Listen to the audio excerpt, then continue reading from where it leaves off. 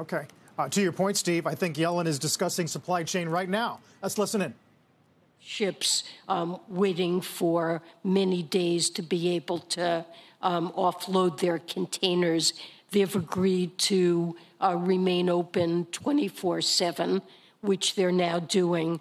And also, um, the administration has worked with major retailers um, that were leaving containers for long periods of time um, on the docks without picking them up to um, make sure that they begin to expedite movement of those containers away from the ports.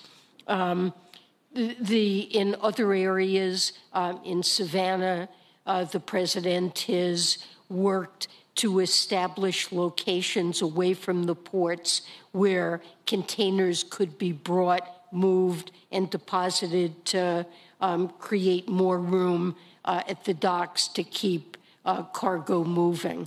And so there are just a wealth of um, interventions and working really with private sector. These are private sector um, participants that are responsible for the supply chain, but bringing together parties.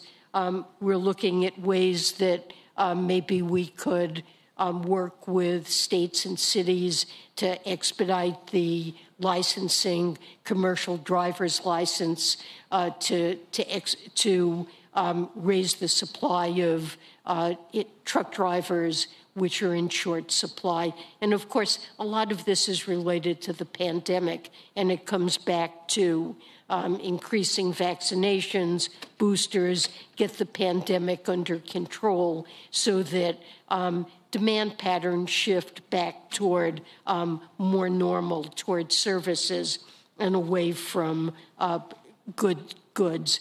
Um, but there are a wealth of uh, interventions that the White House is uh, involved in.